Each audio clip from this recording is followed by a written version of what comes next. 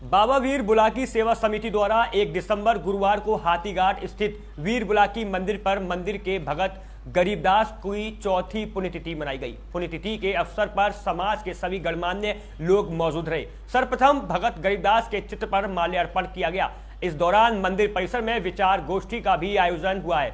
वहाँ मौजूद अतिथियों ने बाबा वीर भावलाकी के भगत स्वर्गीय गरीबदास के जीवन पर प्रकाश डाला। साथ ही प्रबंधन समिति द्वारा सभी अतिथियों का माला पहनाकर और साफा बांधकर सम्मान भी किया गया है और जानकारी साझा की गई।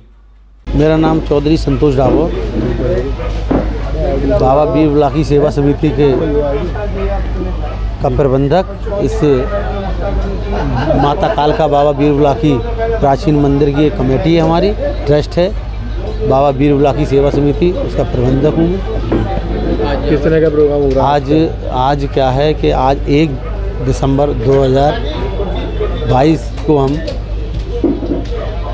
स्वर्गीय श्री गरीबदास भगत जी की चौथी पुण्यतिथि मना रहे हैं जिसमें ट्रस्ट की तरफ़ से सभी भक्तों का कम से कम 21 भक्तों का स्वागत सम्मान किया जा रहा है और कमल सिंह एडवोकेट विमल कुमार जी और निर्मल कुमार जी की तरफ़ से इस अवसर पर भंडारे का आयोजन भी किया गया है। और हम लोग, हमारे जो इस मंदिर के प्राचीन मंदिर जो बाबा बीर बुलाकी सेवा समिति का है, उस मंदिर पर हमारे जो स्वर्गीय गरीबदास भगत जी थे, बहुत अच्छी विचारधारा और निःशुल्क सेवा भाव में रहते थे। आज उनको हम अपनी इस कमेटी की तरफ़ से हर वर्ष की बात ही चौथी बार है चौथा वर्ष है उनका। उस वर्ष पर हम उनको याद करते हैं। उसी उनकी याद में 21 भगत भक्तों का स्वागत और भंडारे का आयोजन हम इस मंदिर पर करते हैं। देखिए आज का कार्यक्रम जो है अ, हमारे स्वर्गीय श्री गरीबदास ड्राइवर जी को समर्पित है जिन्होंने अपने सेवा काल में नगर निगम में सेवा काल के दौरान कर्मचारियों के हितों के लिए काम किया वाल्मीकि समाज के हितों के लिए काम किया और ये बहुत प्राचीन मंदिर है बाबा वीर बुलाकी जी का। यहाँ भी अपने जीवन का उन्होंने बहुत महत्वपूर्ण योगदान दिया। उनके परिवार द्वारा, उनके निधन के पश्चात, उनके कार्यों को जीवंत रखने के लिए प्रतिवर्ष उनकी जो वार्षिक आयोजन किया जाता है, आज उसका चौथा वर्ष है। और इसी अवसर पर, चूँकि मैंने बताया ना, आपको ये प्राचीन मंदिर है तमाम स्थानों के बहुत दूर दूर के भक्तगण यहाँ अपनी सेवाएँ देते हैं रोगियों का रोग हरते हैं और एक मानव सेवा कर रहे हैं। उस मानव सेवा को जीवंत रखने के लिए प्रतिवर्ष गरीबदास जी की पुण्यतिथि के अवसर पर ये कार्यक्रम आयोजित किया जाता है।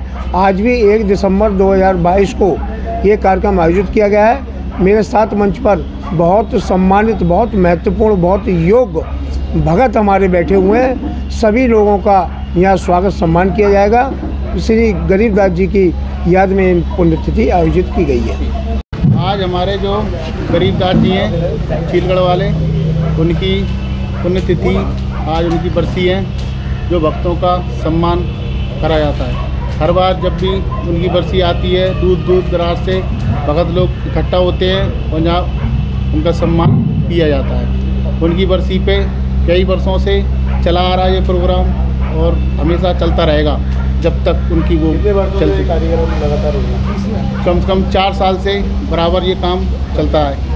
और सभी भक्तगण दूर दूर से आके उनकी बरसी में शामिल होते हैं और हर्ष और उल्लास के साथ उनका दीप प्रदान करते हैं जो।